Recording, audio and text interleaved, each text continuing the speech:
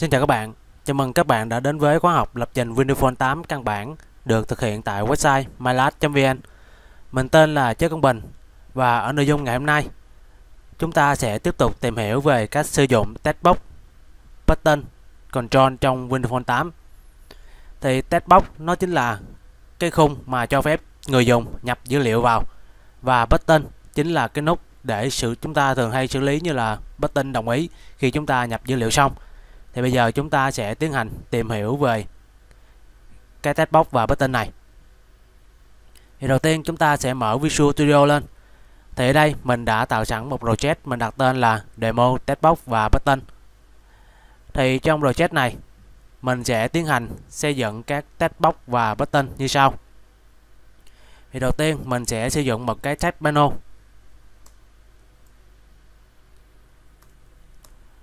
và mình sẽ khai báo một cái text log ở đây. Trước tiên, mình sẽ cho nó nằm ở cột, ở dòng số 1 đã. Thì mục đích mình để read route 1 thì có nghĩa là để cho nó nằm ở trong phần nội dung của trong cái layout mặc định mà ứng dụng đã tạo cho chúng ta. Thì mình sẽ khai báo một cái text log và mình sẽ gắn cái nội dung text log này là họ tên.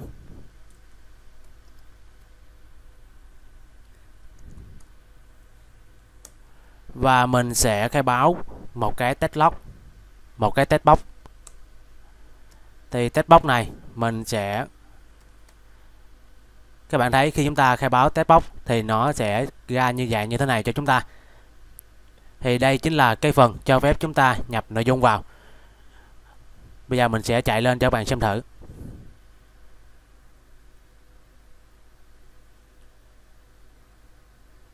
Rồi đấy, đây là cái giao diện mà chúng ta vừa mới xây dựng xong thì mình lít vào. Thì nó sẽ cho phép chúng ta nhập vào cái giá trị mà chúng ta mong muốn. Vậy bây giờ mình chúng ta nếu như vậy chúng ta muốn gán giá trị mặc định cho nó thì có được không? Thì nó cũng giống như phần test log chúng ta có thể gán giá trị mặc định cho nó. Chúng ta sẽ sử dụng test họ tên, nhập họ tên các bạn thấy và chúng ta có thể cho nó ở chế độ là chúng ta không cho phép người dùng lít vào nhập cũng được. Thì chúng ta sẽ để là y. Read only. Bằng. True. Có nghĩa là chúng ta chỉ cho phép đọc thôi, chúng ta không cho phép hiển thị. Chúng bây giờ chúng ta sẽ chạy lên. Có nghĩa là chúng ta không cho phép người dùng nhập vào dữ liệu vào. Bạn thấy bây giờ mình lít vào thì nó không cho, thì nó chỉ cho phép chúng ta đọc như vậy thôi. Thì đó chính là tính năng của e read only thì ngoài ra chúng ta còn có thể xây dựng như là foreground định màu cho nó.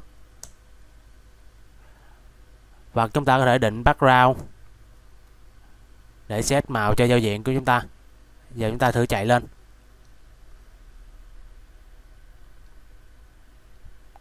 Các bạn thấy là trong test log chúng ta chúng ta không thể nào set được cái background và foreground cho nó thì các bạn có thể sử dụng ờ, uh, Blend sử dụng Blend của thằng Microsoft hỗ trợ cho Windows Phone để chúng ta có thể kích tầm lại cái text box này và cho nó hiển thị thành các màu mà chúng ta mong muốn.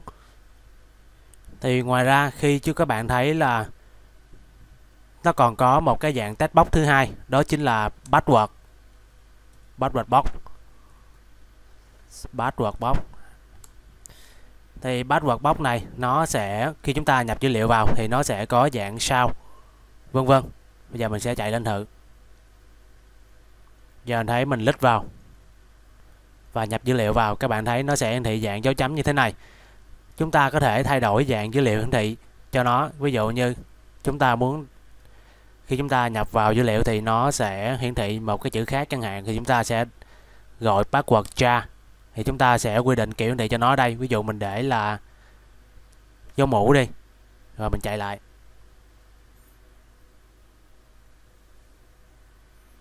Và mình sẽ nhập vào.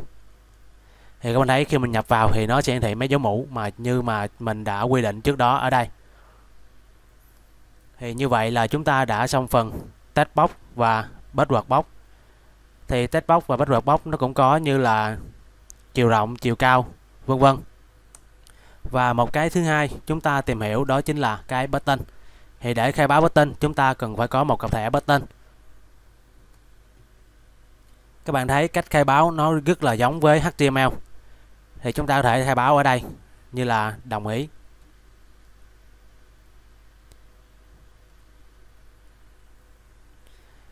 Nếu như chúng ta không muốn nội dung đồng ý nằm ở đây, thì chúng ta có thể khai báo button content bằng. Chấp nhận. Thì mình sẽ bỏ cái đồng ý vào button này đi.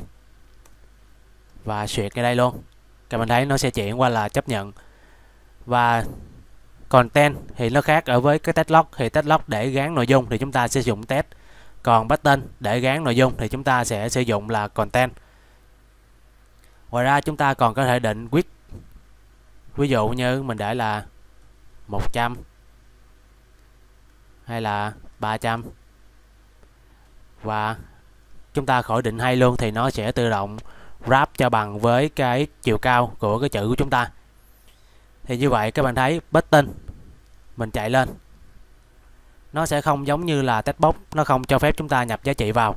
Thì button chủ yếu là để xử lý, để chúng ta xử lý. Ví dụ như chúng ta nhập vào họ tên rồi, và chúng ta nhập mật khẩu vào rồi, và chúng ta click vào button thì nó sẽ xuất ra một cái thông báo gì đó hoặc là cho phép chúng ta chuyển một cái trang gì đó thì đó chính là chức năng của button.